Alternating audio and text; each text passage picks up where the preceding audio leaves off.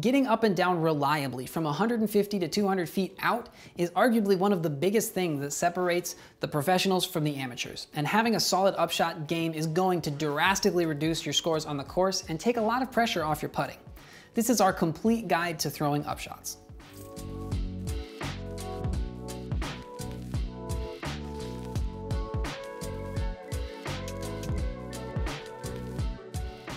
The goal of an upshot is to land your disc as close to the bottom of the basket as possible. You're not really trying to throw these in usually. If a disc passes the basket at chain height from 150 or 200 feet out, that usually means it's going to carry a little bit past the basket. And that's where you end up with a lot of those circle's edge or just outside the circle putts that can add up to a lot of stress and a lot of missed strokes over the course of a round. Usually when throwing an approach shot, it's best to throw a hyzer because the disc is going to stay on the same angle the whole time, and a hyzer is the most consistent shot in disc golf. Throwing a straight shot usually requires a slightly less overstable disc, and that means that it might turn a little bit or be a little bit less reliable in the wind, and throwing a perfectly flat shot is kind of hard.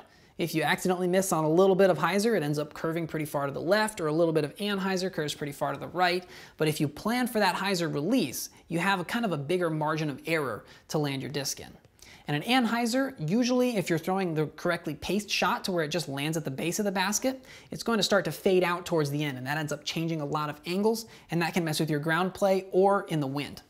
Now when there is a lot of wind, especially a crosswind, I will try to always keep the top of my disc into the wind. So if I have a left to right wind, as a right-handed player, I'm gonna try and throw a hyzer because that's going to push the disc down and help it stick and grab the ground right next to the basket. But if I have a right to left wind, I'm usually gonna throw a forehand hyzer because the hyzer is gonna be just as consistent as before, and that forehand shot is going to help keep the top of the disc into the wind so the wind can knock it down and help keep it accurate.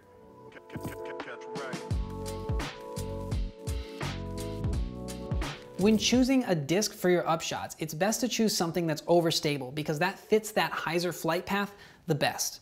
Something understable is gonna change angle a lot and that can mess a lot with your results. A little bit of a miss at the beginning tends to result in a bigger margin of error down the line.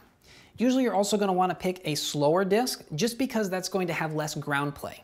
If you throw an upshot with something faster, like a, a 9 speed or a 13 speed, it's gonna tend to skip when it hits the ground, especially if there's not as much grass, like there typically is around baskets from people putting and getting their discs out. That can result in a lot longer putt than you're expecting if the disc catches an edge right as it's coming in. But usually slower discs are gonna be a little bit more consistent to nestle right next to the basket. And along the same lines, a softer plastic can be helpful as well. A lot of people like throwing our classic soft plastic for their upshots because it tends to grab the ground really well. Because it's soft and it's flexible, it'll kind of bend and absorb the bumps on the ground. So good discs to throw for upshots are either a soft version of the putter that you use for putting. I personally like a Warden for my upshots, but a lot of people find success with the Harp or the Suspect or the Slammer or the Caltrop.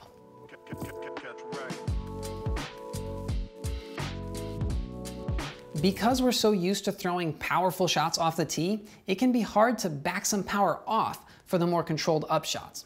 So as far as technique for throwing upshots, the number one thing that I focus on is shortening my reach back. I still need to reach back straight, but if I only reach back to the left side of my chest as opposed to turning my shoulders farther away and reaching the disc all the way back, that ends up taking a lot of power off. So the rest of my throw feels fairly normal, but it just has a lot less power because I didn't reach back as far. It's also helpful to try and spin the disc as much as you can because that extra spin is going to help the disc fly more consistently and that gives somewhere for your energy that you're throwing with to go rather than just powering the disc as hard as you can down the fairway. I usually change my grip for upshots. I throw with a power grip off the tee, but for upshots, I throw with a controlled grip, which is the same grip as my power grip with the pointer finger and the pinky finger, but my other two fingers are spread out underneath the bottom of the disc. And that just provides a little less resistance as the disc is leaving my hand, and it lets me have a little bit more touch when I throw those upshots. A lot of people also find success with a fan grip where maybe their only their pointer finger is like they would be it would be for a power grip and the rest of their fingers are kind of fanned out underneath the bottom. Grip is something personal. Some people do throw up shots with a power grip, but I would try messing with that if you're having trouble getting a consistent release on those lower powered shots. Usually a disc will have a lot less speed hitting the ground if it's flying a little bit nose up. Now, nose up is typically something that we want to avoid off of the tee because we're trying to get the most aerodynamic flight as possible to get the maximum distance. But for upshots, it can be helpful to throw the disc a little bit nose up. So to do that, what I personally do is I just change my grip. My uh, control grip that I use for upshots actually sets the disc back a little bit in my hand to where it's tilted backwards a little bit more nose up. But if that's not comfortable for you, you can try lowering your elbow. Keeping your elbow down will usually tilt the disc back a little bit or lowering your release point. If your release is too low, that'll lots of times air skip the disc and that kind of sends it hovering like an alien spacecraft right towards the basket. For forehand up shots, typically the, the mistake that I see is people will yank these really far to the left. So to do to fix that, the way to take power off without yanking it to the left is just like backhands, shorten the reach back. Don't swing the disc as far back as you would for a drive. And then like Eric Oakley always says, follow through forward first. Make sure you're following through towards the basket and that will help keep the disc on line and let you control the disc as it comes into land.